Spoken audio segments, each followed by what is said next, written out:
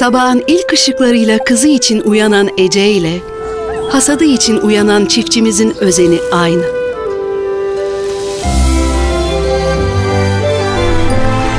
Can ve Meltem'in kendi dokunuşlarını yaptığı harika tarifle Filiz'in tamamen Türk buğdayından yaptığı özel harmanın özeni aynı.